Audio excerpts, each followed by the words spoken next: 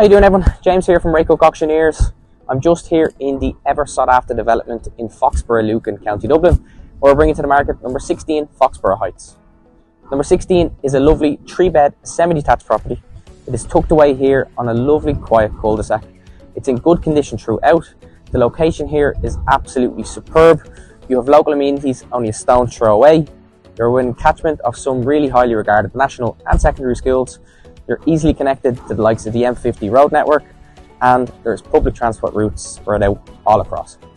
This one is not to be missed. It will be really popular for first time buyers and growing families. It boasts the ideal family home. Register your early interest today. Let's have a quick look around.